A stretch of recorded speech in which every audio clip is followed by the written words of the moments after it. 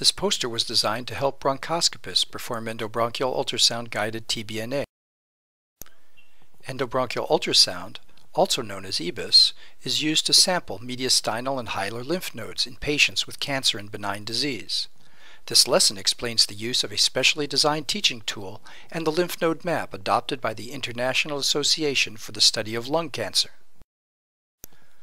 The objectives of this lesson are to assist practitioners in the strategy, planning, and performance of EBUS TBNA, and to help practitioners understand the correlations between chest computed tomography, EBUS, and white light bronchoscopy for sampling mediastinal and hilar lymph nodes.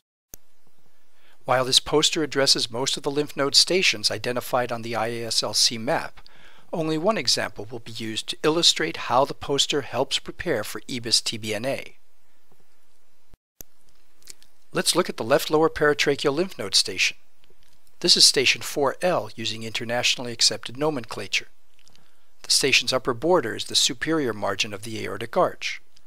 The station's lower border is the upper rim of the left main pulmonary artery. The lymph node is usually located lateral to the trachea at the level of the main carina. The bronchoscope is placed in the lower trachea, approximately at the origin of the left main bronchus. With the balloon inflated, the transducer is turned towards the left to visualize the left paratracheal region.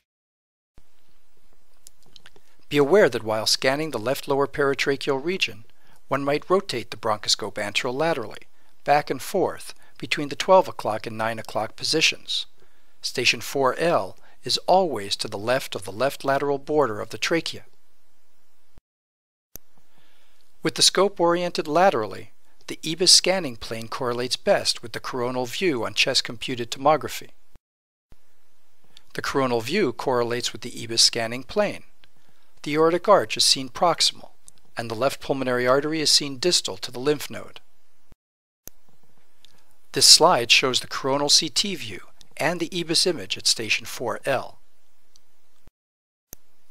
To understand how the EBUS image correlates with the CT scan, however, Several reference points must be identified. The EBUS image is projected on the monitor as if the scope were horizontal. The green dot on the monitor represents the point where the needle exits the scope.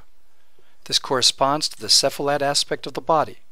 This dot is by default towards the 1 o'clock position on the monitor. Several adjustments can be made to the coronal CT image in order to bring the scope to a horizontal position and the green dot cephalad to match the EBUS image. Rotate the CT image clockwise in order to bring the scope to a horizontal position and the green dot towards 1 o'clock. The two images now correlate.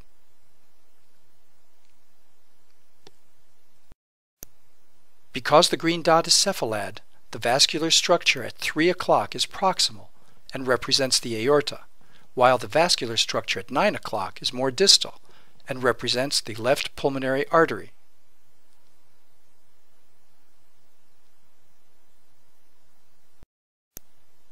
To summarize, for station 4L, the coronal CT is useful because it correlates with the EBUS scanning plane. The scope is in the lower trachea at the level of the main carina. It is rotated laterally to visualize the left paratracheal region.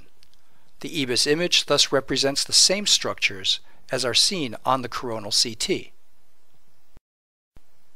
This lesson helped demonstrate how specific computed tomography views can be used in the strategy and planning of EBUS TBNA.